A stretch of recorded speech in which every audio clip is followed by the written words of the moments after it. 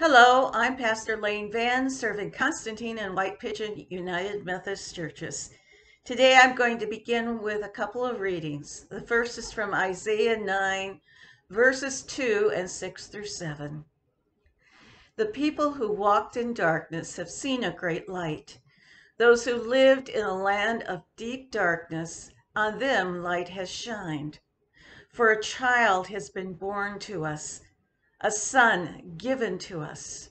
Authority rests upon his shoulders, and he is named Wonderful Counselor, Mighty God, Everlasting Father, Prince of Peace.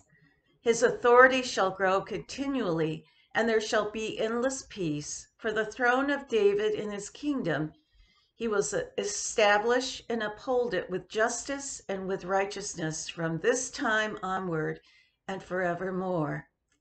The zeal of the Lord will do this. And from Peter Mayer's song, Where is the Light?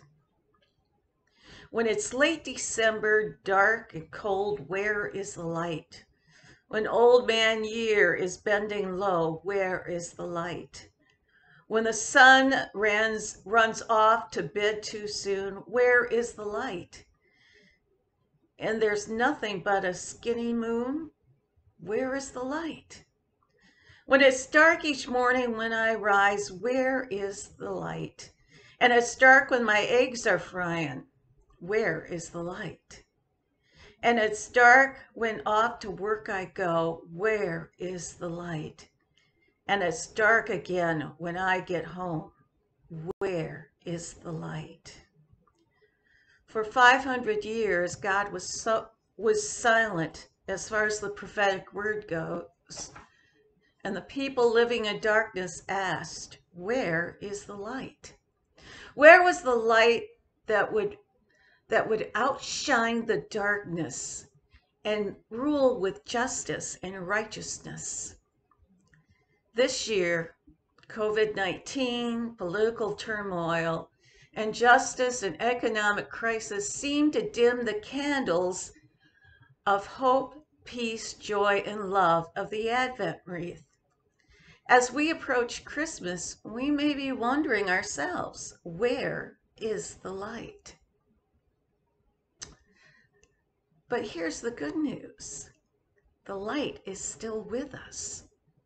John 1 6 reminds us that the one who is represented by the white candle in the middle of the Advent wreath, Jesus Christ, is the light of the world, which can never be extinguished by the darkness that threatens to overwhelm us. Where is the light? Well, the light is inside of us. As Peter Mayers puts it, where is the light?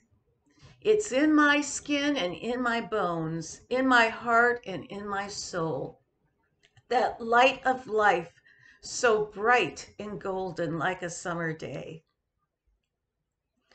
We are the living presence of Christ for the world. And we are the bearers of Jesus' light.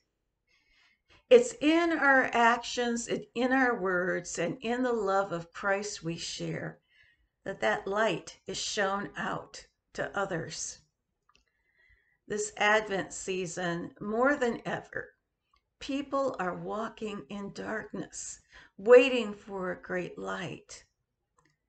Will they see that light in us? This little light of mine, I'm going to let it shine.